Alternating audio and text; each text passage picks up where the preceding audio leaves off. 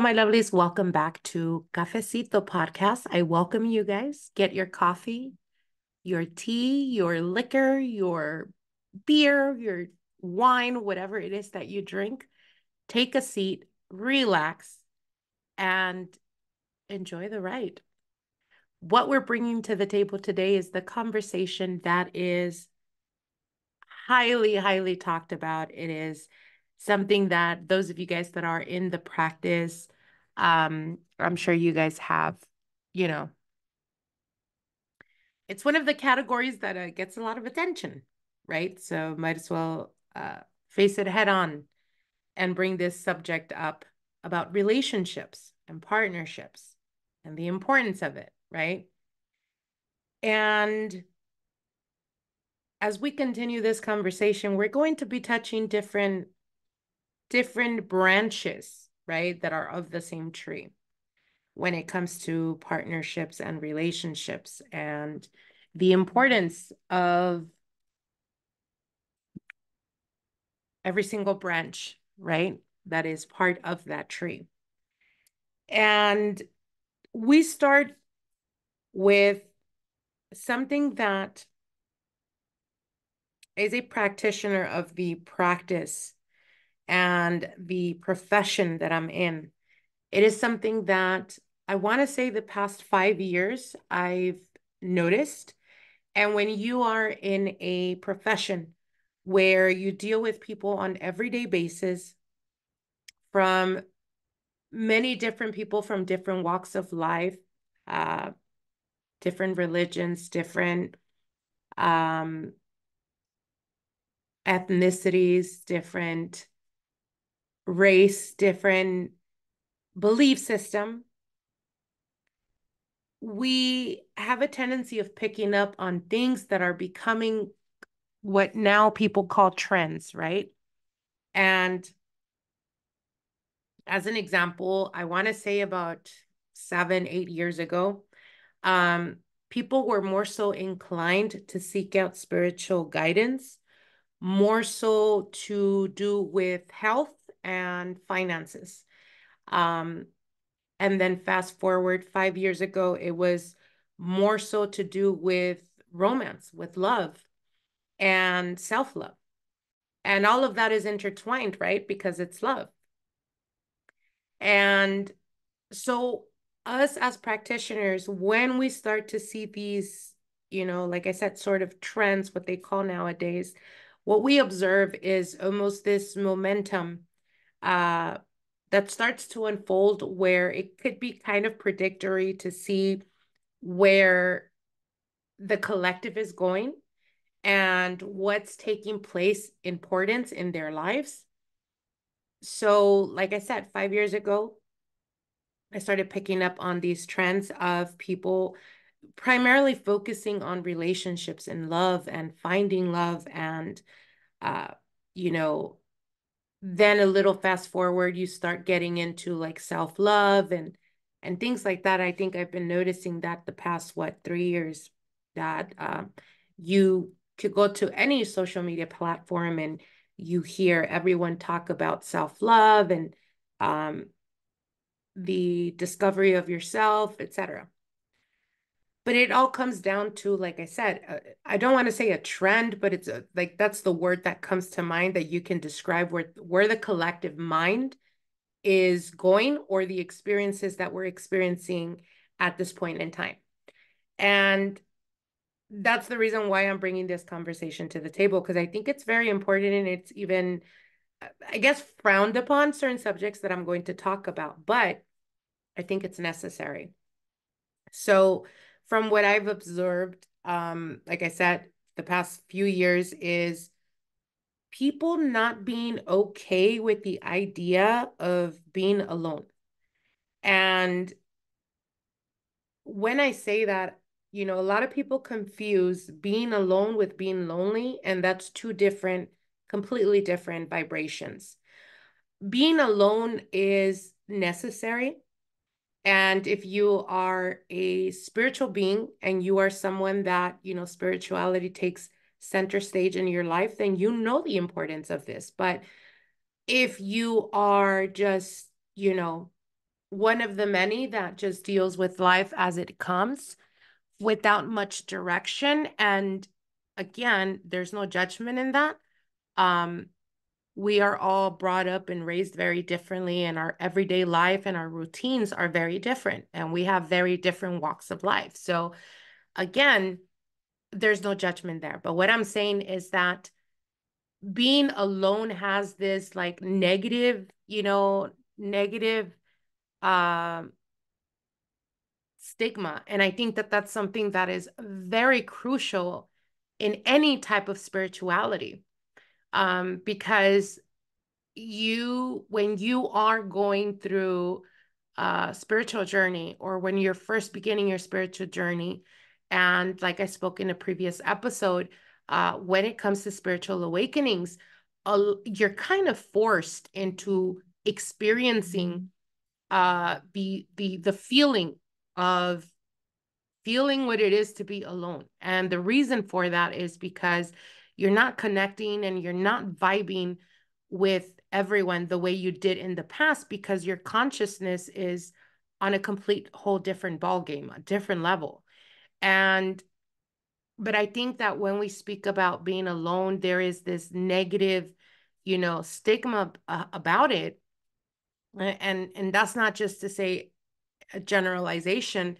Um, if we want to pinpoint it, we can take it back to, you know, women, for example, a woman that is, you know, single and she's been single for a while, especially, and I'm speaking for myself in the experience, um, my background is Mexican. So in the Mexican culture, it is almost like uh something weird, something odd. It doesn't happen, right? After a certain age, they expect you to have, you know, a partner or to want to build a life with a partner. And that's just how it is culturally.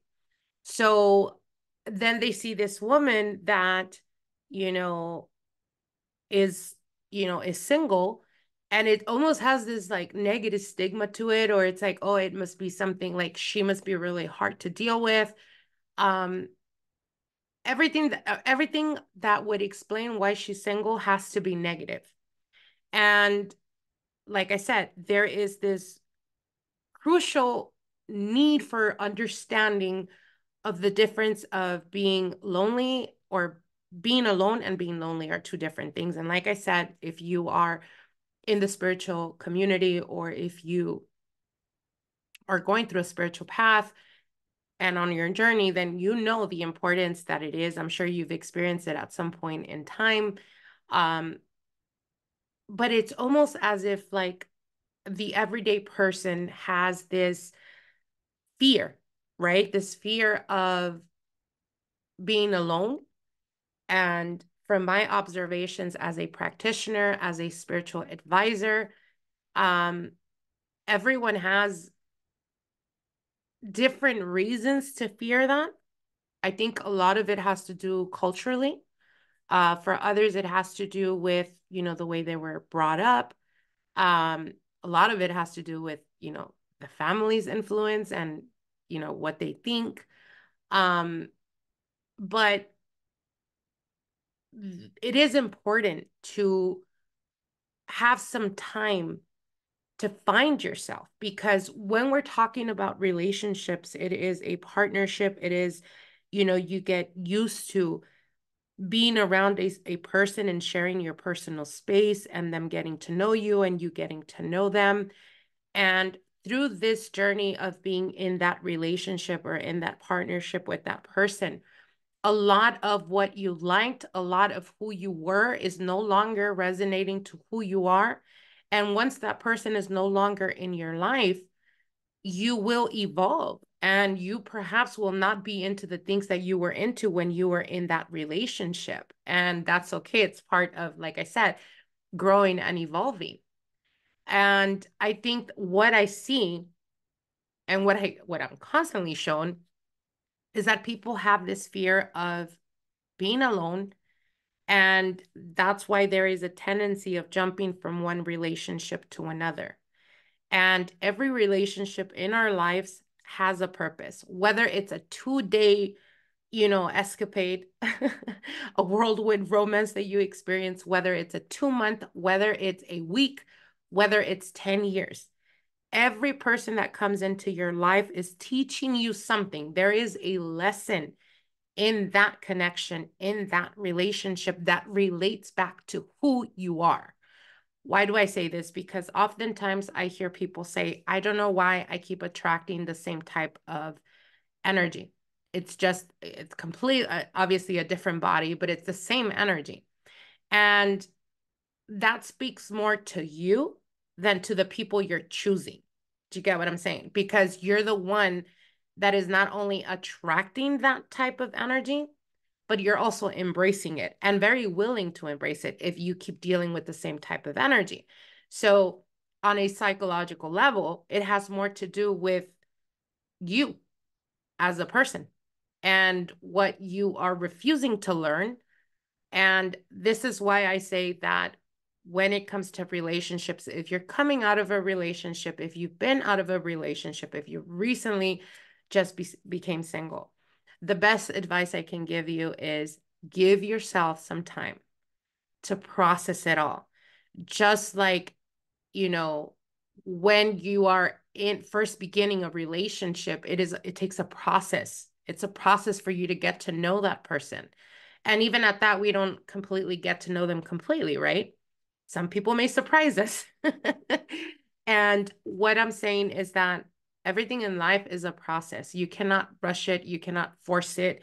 You can't you have to surrender to that process. So even if you're at the point where you recently came out of a relationship and you're feeling all down and all your friends are telling you you should go out, you should go have fun, you know, keep yourself busy, though it is true and I know that they come from a loving place. Um perhaps being open or wanting to deal with other people is not a good a good time to do that because when you come out of a really just as it took the effort and energy in getting to know that person and sharing life with them it's going to be a process as well when there's a breakup or a separation. And though it is at a different extent it is a mourning process because you are mourning the loss of that relationship. And not just the relationship with that person but also it's kind of like mourning that part of who you were because you will no longer be who you were at that point in time. So this is where being alone is very important because through this process, through processing, you know, the the the the mourning of that relationship or that relationship that came to an end, you're also reacquainting yourself or reconnecting with yourself, with your true authentic self. And through this process, you're learning, you're going to have days, right, where you wake up and you're extremely motivated and you're like, I got this. And then there's going to be days where you feel like you are in the ocean and the emotions come as waves. You know, it could be a little wave, it could be a huge wave where it becomes very overwhelming. And the whole point of that is to not run away from those feelings, to not hide from those feelings or suppress them, but to actually embrace them, to actually sit with that feeling for a bit. Don't stay there, you know, three days, but acknowledge it. Acknowledge it and acknowledge what that relationship taught you. What were the lessons that came along with that person? What did you learn about yourself? Because when we talk about relationships, relationships in in in the grander scale of things a relationship is in essence a part of who you are right? You're sharing your life with someone ex- you know exterior to you but you are having that experience with that person. So it is a part of you in that moment in time. So this is like i said this is the reason why it's so important to process that, to give yourself the time to mourn that relationship that came to an end, to sit with the, you know, the feelings of it, to acknowledge them, not to stay there, like I said, for three, four days, but to acknowledge that you have every single right to feel what you're feeling because that person went from you dealing with them on everyday basis to not dealing with them at all of course it's going to be a major emotional you know kind of toll and roller coaster. But what i see often is that people don't give themselves that time. And instead they run from one relationship to another to kind of escape the feeling of processing the loss of that relationship. And that creates a whole nother you know uh a whole nother type of chaotic energy but to be I, and this is something i want to stress to to be alone and to be lonely are two different things. And the the best example i can give is you know for for instance when i'm consulting with a client and the saddest thing for me on a personal level that kind of takes a toll on me is when the client is in a very unhealthy relationship and they often feel and this is something i often hear um that they say that they feel alone that they feel lonely in that relationship. And and to me that's very heartbreaking because what i think about in that moment in time when that client is sharing those those emotions with me is you know I could never choose to be in a relationship where the partner in, in, instead of enhancing my life experience is taking from me taking from me to the point where i feel like i am alone in that relationship. And i am facing the obstacles and the lessons and everything and just feeling like i'm dealing with it alone then what is the purpose of being in that relationship, in that partnership? And that's where, like I said, that whole chaotic energy starts to take place. Why? Because everyone does it for many different reasons. Some for status, for what family may say, friends may say, others because they feel responsible or because of guilt or because of, you know, often I hear because of the kids. And to me, it's kind of like it it triggers certain memories, right? Or certain experiences that I went through. And it's like, you know, sometimes I understand that as parents, you want to do what's best for your kids. And sometimes holding on to a relationship that perhaps is not that good uh, or perhaps is very toxic, and you try to hold on to it because you're trying to cultivate in your kids the family dynamic. But sometimes you do more damage being in that, you know, dynamic that is very toxic, that the partner, you know, is abusive or mentally abusive or uh, just has a tendency of degrading the partner or whatever the situation is. And what I tell my clients is you got to think if you're doing it for your kids, then you should have been out long ago because you're teaching them that that's that type of love. And believe it or not, we are condi- conditioned as kids, what we see, how we give and receive love are the people around us are, are knit our circle, they're teaching us that that's how we give and receive love. So, going back to the conversation of the need to be alone, when you come out of a relationship, you have to process what was the lesson. What what was it that, you know, that that relationship brought to you? And it also is almost like a self-reflective moment in time, realizing, well, I had a lot to do with choosing that person why did i you know choose them? Why did i allow them to do this and this and that? And you will come to the realization that a lot of that has to do with our insecurities. A lot of that has to do with our you know conditioning in early childhood and the whole purpose of dating or being in a relationship or in a partnership is to evolve in that relationship, right? And if it came to an end, then you should evolve from that energy. And this is something that, like I said, it, it's almost like being alone is something that is frowned upon, or it's something that, you know, we tend to run away from for many different reasons. But it is important to give yourself that space, to give yourself that time. Um, and to heal, especially those of you guys that are coming out of very traumatic experiences. Trauma, you know, whether you convince yourself that you can get over it, it is in your brain, it's in your subconscious.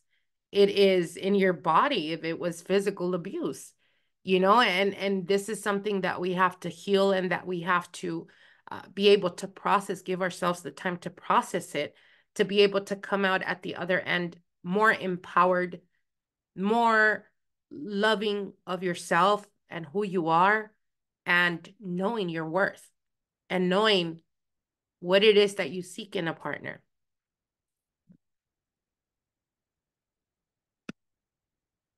And this is why also when we talk about relationships, a lot of people never, 90% of the people I deal with, they do not want to give themselves the time because they don't want to heal. And yes, healing is a process and it is painful, especially if you're coming out of a five, seven, eight year relationship or even longer. Um, it's painful. But in that, you have to learn to heal yourself, to put yourself together, to become more empowered, to become more aware of what you're seeking, what you're willing to put up with, and what you're not willing to put up anymore. And it is a healing process. And often people just don't want to deal with that. They just don't want to heal.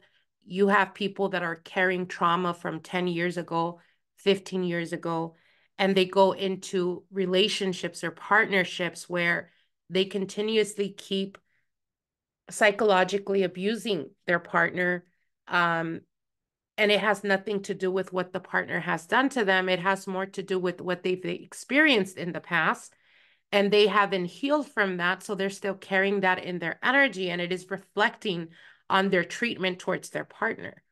Um, and this is why it's very important to do healing, to give yourself the time to be alone with yourself.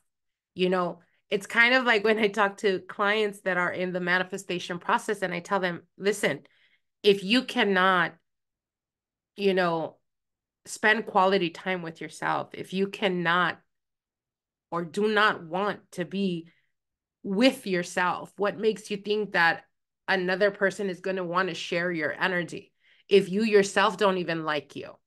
And I know it's like it's a haha, like ah, oh, it's so funny, but but it's the truth. There there is reality to that. There is weight behind that statement. You know, um, like I said, even being in relationships, I know people have a tendency also of like uh, changing their styles or depending on the person they're dating, they kind of mold themselves into that person.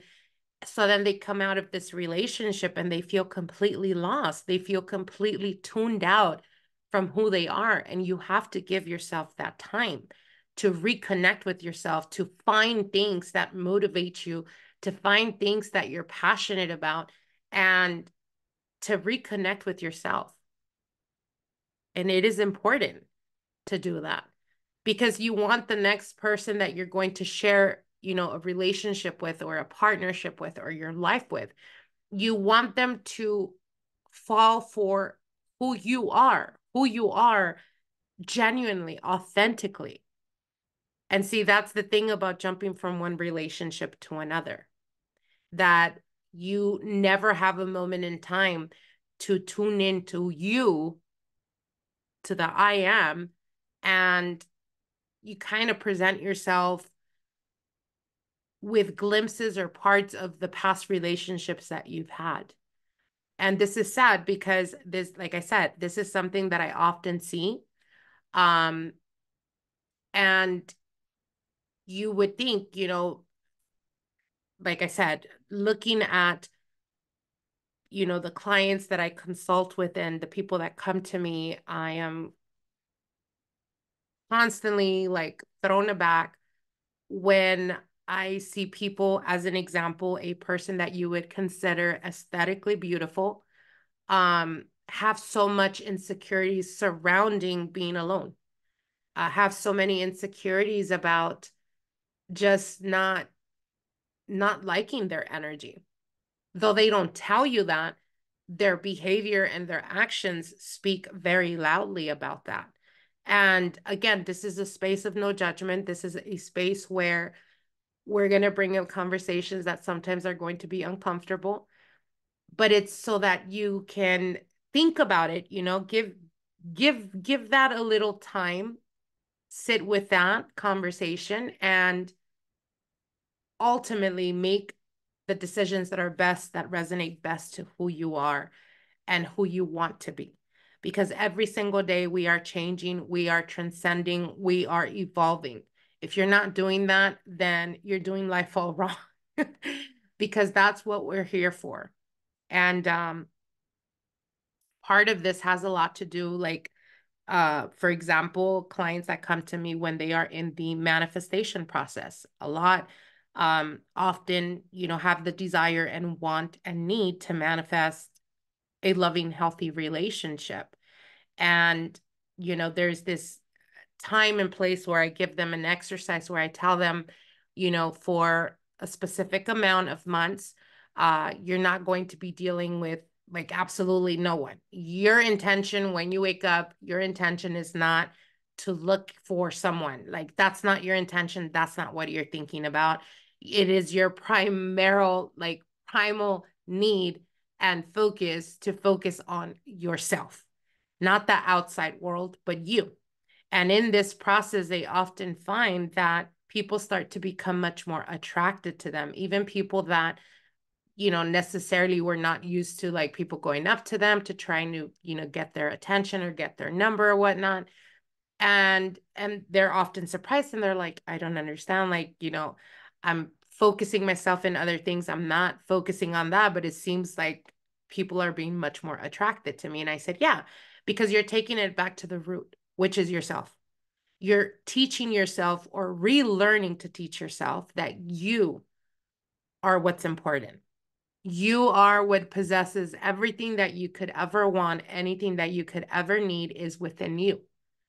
And when you start to tune into you and you start to reconnect and kind of disconnect from, you know, our highly sensitive ego that is so needed to to be very aware self-conscious about how other people perceive us you become more empowered. Therefore your energy you're vibrating from a higher from a from a higher frequency. And those that challenge or those that you know have difficulty with following certain instructions um will often find themselves in a relationship very shortly after um dealing with you know with those exercises and they try to go the other way and they embrace those connections that come through and then they're surprised why it doesn't work out. And this is something that you know if you've listened to my other videos or the other episodes um you know the the the, conversation of you will never be able to attract anything other than who you are or anything other than your energy. So I'll give you as an example those that try to go around the courses that I'm teaching them and they want to convince themselves that they could do it another way. So they don't tell me, but then later on I find out that they're talking to someone that they had met, let's say three weeks into the lessons, right? And they're like, it must be it because it's vi- I'm vibrating very high and you know, and and I'm over here sitting back like, okay, okay, I'll, I'll let I'll let you, you know, create your own reality. Um, I don't in that moment in time, I, I'm already aware that they are listening to the lessons and and maybe taking some some insight, but not necessarily practicing them. And then they're surprised when it doesn't work out. And then I tell them, okay, so let me give you, you know, let me let, let me give you a, a moment in time to take a bit a step back and look at your surroundings if you obviously everything that you have done up until this point hasn't worked out when it comes to relationships for you um then there is the only way to see or experience a different outcome is by doing something different So you try something different momentarily, but then you go back to your old habits or behaviors, right? So your state of mind is still the same. You're still vibrating from the same frequency. What makes you think that you're going to be able to attract a healthy, loving relationship if you're still in that same vibration? You're not going to be able to because like attracts like. You cannot attract anything other than who you are or what you are, what you're vibrating to. So they'll find a person that immediately, you know, the chemistry is off the charts, everything is going great. As we all know, the beginning stages of a relationship or connecting with someone, everything everything's going to be fine, right? Because we're not challenged because we're trying to put our face foot or our our best foot forward um until it gets real. So they're hot and cold with them or whatnot. And it's like because you yourself are unaware of what you want and they're like what do you mean i know that i want a serious relationship i know that you know i'm looking for something serious and monogamous. But yet when i ask them how was their first second or third date it's the opposite of a serious healthy loving monogamous relationship. So it's like how can you expect to attract someone that is going to take you seriously when you yourself are not taking yourself seriously because you're telling me you want a long-term relationship yet you're okay if they put you in the category of a one-night stand. That's the complete opposite of what you're telling me you want. Therefore that's telling me that you are willing to sacrifice what you want right so that you can accommodate their needs. And you cannot manifest in that in that way. You cannot manifest in that form. Yes, you may bring more people to you, right? But they're going to be vibrating from the same frequency that you are. And this is why, you know, like I said, the importance of shadow work is something that is, I highly encourage everyone to do. Even if you're not a practitioner, like you should do shadow work. Why? Because there's aspects to ourselves that at a very young age or in childhood or even growing up, we were meant to feel different or we were meant to feel uh, like that was a aspect of ourselves that we needed to hide or that we need to, you know, pull away from or, you know, I'll give you a very short example, masculinity.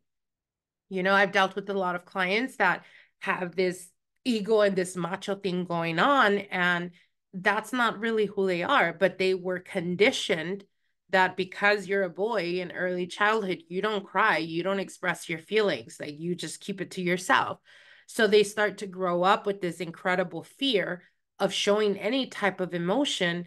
And then those are the ones that have the most trauma when it comes to processing emotions because, you know, it can get out of hand real quick or it can get physical because they don't know how to act or how to process those emotions or i get you know um their partner will complain well i I, I it just seems like i can never guess what's going on in their head because they just don't you know they i don't know them. I don't know how they think. I don't know their process like and it's because of that. So we have to do shadow work. We have to work on ourselves. We have to see and be aware of what triggers us and the reason why it triggers us um, because there's it's there's always something that fundamentally goes to the root of what is being triggered. And this is why you know healing and doing shadow work is very important because in shadow work it's not the separation of that aspect of who you are it's the integration of it and the owning of yes you know i was overly sensitive as a kid and i was continuously told to shut up or that i would talk a lot so then I grew up feeling like I couldn't talk a lot because people would judge me for it. So then you have people that are extremely shy or people that just don't feel the need to speak up because the moment they do, they feel like they're being criticized or judged. That's shadow work that needs to happen in that aspect. Why? Because this power or this person feels um, instead of empowered, they feel debilitated because they feel like they cannot express how they're feeling or what they're thinking out of fear of others or the judgment of others.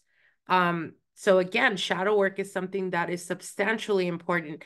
And it goes back to the connection of those of you guys that are trying to manifest a healthy, loving relationship.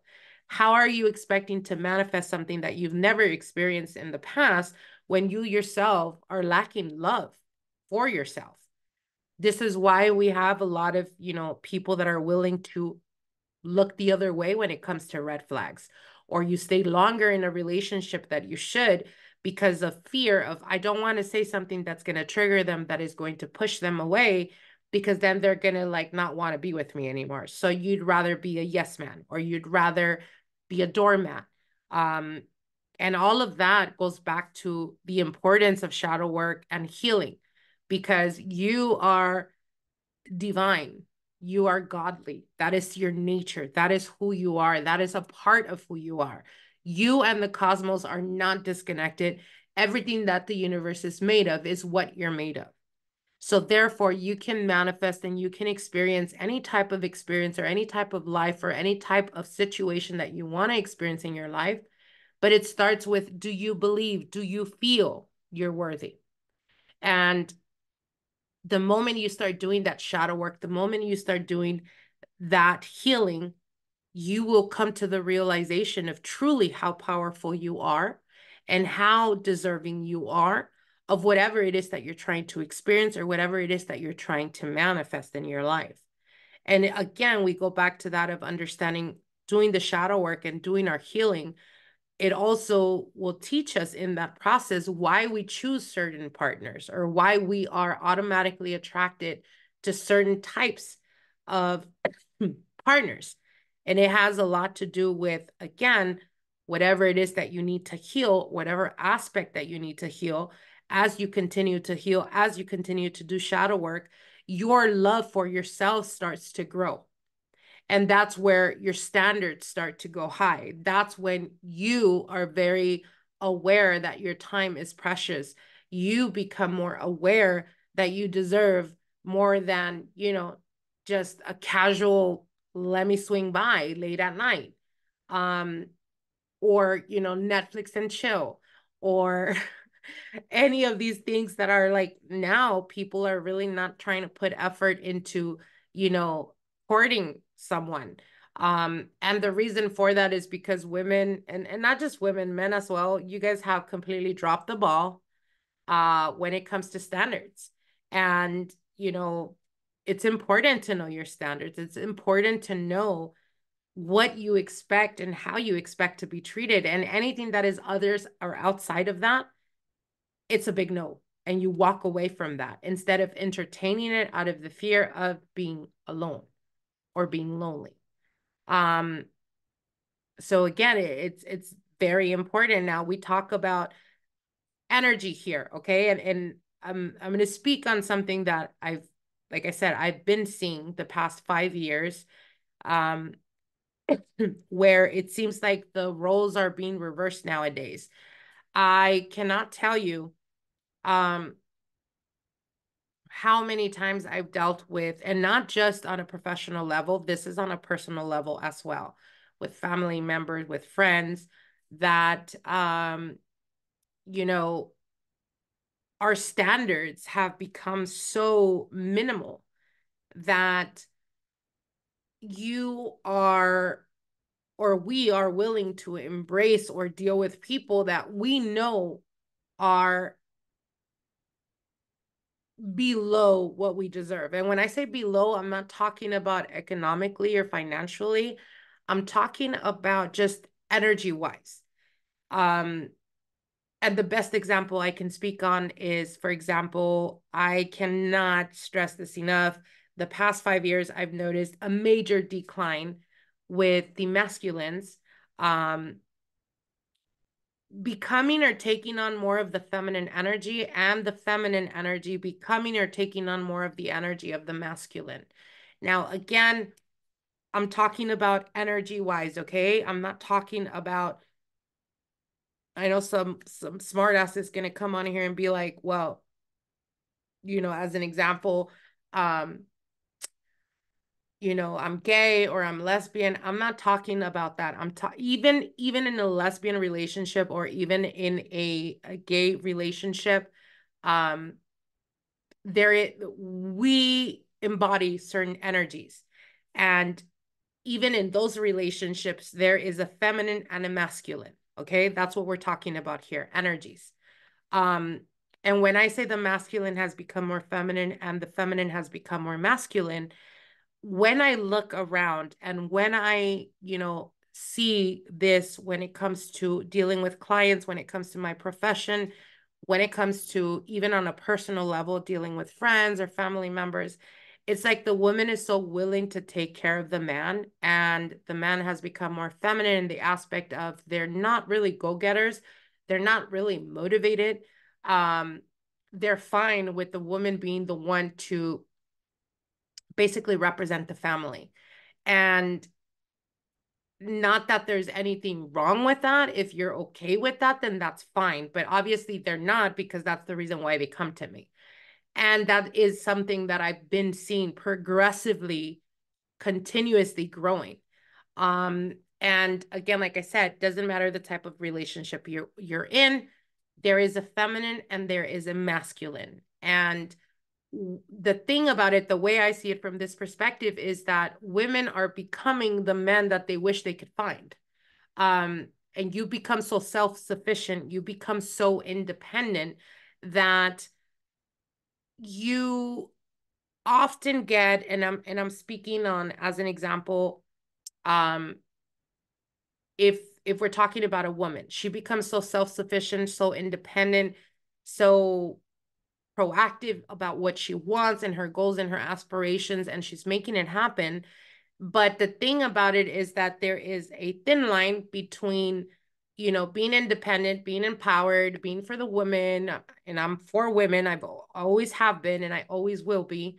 Um, but there's a fine line between that and like making that your whole personality. And what I mean by that is you know, women that feel more empowered than their masculine uh, have a tendency of being more disrespectful or even degrading to their partner. And the reason for that is, again, we're talking about energies. When we're talking about energies and the feminine that should be feminine is more on the masculine and the masculine is more on the feminine, the the woman innately has to have some type of admiration or respect for the partner. And when they are not really doing anything and they're kind of just cruising by the relationship, at some point you start to lose respect for your partner. And that's where that's where I see the toxicity when we're talking about the feminine becoming more masculine to the point of, you know, having the need to yell or scream even in public to their partner to degrade them or embarrass them or whatever and the reason why that happens is because, again, they at that point, they probably lost respect for that partner. And the masculine being more on the feminine energy, they're more on the receiving mode. So they kind of expect the woman to be doing stuff that usually it would be the role of the man to do. Now, again, I've always been a very open minded person. I am, you know, trying the best I can to not be not ruffle those feathers. But i do see that there has been a major decline in standards in people. Um and the reason why these women that are highly independent that are highly uh, proactive about you know their dreams and their aspirations the moment they have a conversation with another masculine that is independent that is highly motivated that they don't find a connection. And the reason for that is because they often find themselves being either intimidated or feeling very awkward because they're not used to dealing with masculine energy. I hope I hope that's making sense. Um, so what I'm saying is you get a highly independent person that is a feminine and you highly independent masculine. You put them together and you would expect for them to get along, right? but it doesn't always work out that way. And the thing about that is that women have brought their standards so low that you're okay with your partner doing the bare minimum. And I'm not just saying, like, I'm not saying all of you, I'm just saying that's what I've seen. That is what I've observed. throughout these five years. And and I think that it is important. Again, this is why healing and doing shadow work is so important because in doing that, you will reconnect with yourself and learn and understand your worthiness and what you deserve and to not be settling for anything less. A lot of the times people say, I'm not going to settle for anything less. And then a person comes along that doesn't meet the criteria or doesn't have, you know, certain attributes that they're looking for in a partner. And they're willing to overlook that out of the fear that there may not be another one coming through. Do you get what I'm saying? There's this constant need or feeling to feel um to feel connected. And I think that the important process or the important thing here is to learn that when it comes to relationships and when it comes to finding a healthy, loving relationship, is that you need to have a healthy, loving relationship with yourself first and above all. Um, only then will you be able to, like I said, attract that likeness. Um, you know, this is something that I highly speak about. And, and again, we're talking about energies. Uh, you could be in a, you know, um, you could be in a se- same sex relationship or partnership. And the energy is, we're talking about energies. We're not talking about sex, basically, is what I'm saying.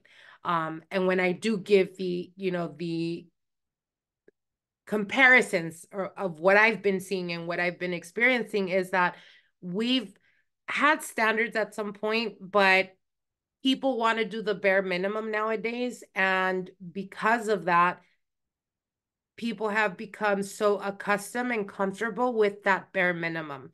And we go back to that of the importance of shadow work and healing. Why? Because one of the things that I've experienced in this line of work is that, and I'm going to be honest, everyone is so cynical when it comes to love and romance. But the truth is that out of those that are the most cynical are the ones that the most want to experience true, healthy, loving relationships. Why is that? Because instead of healing, instead of doing shadow work, instead of taking self responsibility to help ourselves be better people, um, instead of doing that, we walk around using others to get over others. And what you have is a society or a collective of people walking around that are completely hurt, devastated, that are broken down. And because they're not willing to do or put in the work to heal themselves, they go around and deal with other people that are the same or in the same plateau of not wanting to heal, not wanting to do self, you know, self healing and shadow work and self responsibility. And you have all of these people walking around hurt and you have them being cynical. Um, you have people, you, we have more of narcissistic people walking around because of that. Um, instead of doing the work. So what I'm saying is what I've seen is that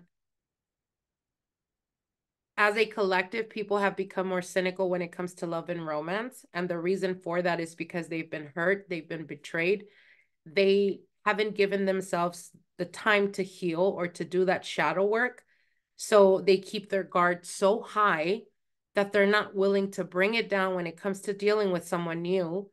And the other person, the same or same scenario, they are hurt, they are extremely guarded, and they're not willing to put bring the guard down but yet the feeling of loneliness is what draws them together, right? And then they get themselves in a relationship or in a connection that I should say becomes a situationship. So that's why it's very important to to do shadow work, to do healing before getting into a next relationship. The purpose of relationships is like I said, they all are here to teach us a lesson to, to teach us something about ourselves because ultimately that's what it is. And when you're willing to put in the work and you realize how important you are and you realize how worthy you are of experiencing what it is to be completely fulfilled or completely you know in a very loving healthy nurturing relationship when you realize that you're worthy of that and you deserve that, you're not going to be willing to entertain yourself with anything less of that value.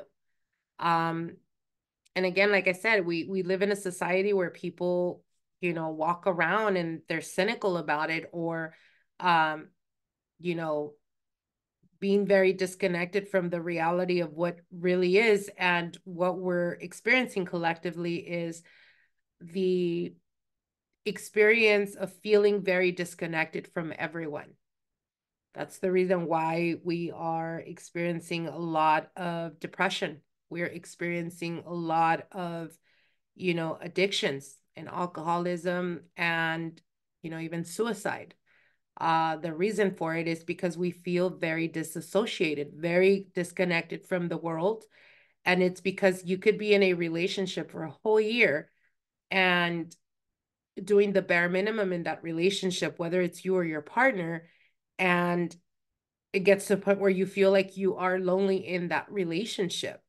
so I think it's very important to cultivate ourselves so that we can be better partners and so that we can also know our worth and to not allow anyone uh moving forward to treat you anything less than what you deserve that's something very important and i think it's something that um people need to be more willing to embrace uh because it's you know it's it's very important. And what you notice through this process of you know, whether you're trying to manifest or whether you're trying to heal and do your shadow work and put yourself together and empower yourself, you'll come out of it at the end knowing what you're willing and not willing to deal with anymore. And anything other than that, you pick up on that energy immediately.